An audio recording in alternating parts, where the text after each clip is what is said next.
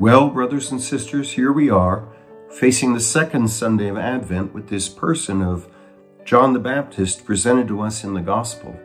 Have you ever noticed that this loud, abrasive prophet never seems to be included in any holiday decorations?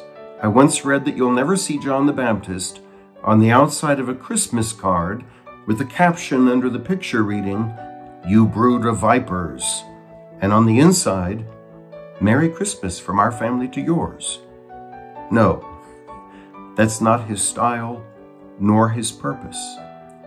With his desert grime, grasshopper diet, and harsh words, he's not one we embrace easily, and yet the gospel begins the Christmas story always with him. It all starts with him. And the message is clear. If you want to get to the joy of the manger, you first have to get past John at the Jordan. If you really want to see what's in Bethlehem's crib, you first must be confronted by this wild prophet in the desert. The church has always required it. In short, no Jesus without John. And who is the Baptist shouting at in this Sunday's gospel? Well, it's not the criminals of his day, it's not the thieves, the unbelievers, no. It's the good, decent, religious people of his day, people like you and me. They've come out to add his baptism, it seems, to their list of religious accomplishments. And he sees right through them.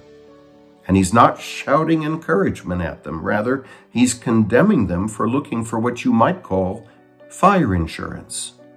Insurance from the fires of hell. And even when they respond, You can't talk to us that way. We're decent people, sons and daughters of Abraham, the most faithful of the Jewish people.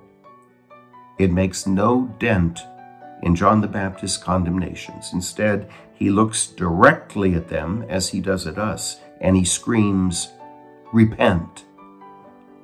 Repent, not just for your big sins, but for pretending they're not there and not just for those big things, the infidelities, the thievery, dismissal of human life, but the small mindedness, backbiting, jealousy, minor embezzlements, self centeredness, grudges. It happened 2,000 years ago to a man named Saul, who later would be known as St. Paul, who realized he really, really had to repent. In his case, repentance from taking part in the murder of one of the first Christians. It happened centuries later to our diocese's patron, St. Augustine, who lowered his head, pondering his infidelity.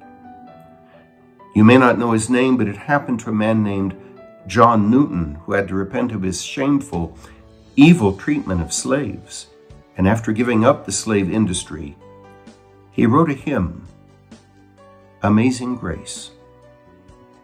With time, it would be Dorothy Day repenting of her communism and abortion and promising not just to care for the poor, but to live among them. And now, today, it's you and me. And he really is standing there, poking us in the chest and demanding. And if you're serious about Christmas, you better take note of what he's telling you to do because he's not going anywhere. And he's going to continue standing right there and poking you in the chest until you do what all our ancestors of the faith have done before us. And so there it is for the second Sunday of Advent. A smelly, unwashed, raging prophet from the desert, blocking your view for now of the Christmas crib so that you will come to your senses. That's what this Sunday's liturgy is all about. It's what our scripture is all about. Again, in short, no joy without the Jordan, no Jesus without John, and no real rejoicing without real repentance. For once again, as he does every year, the prophet has spoken.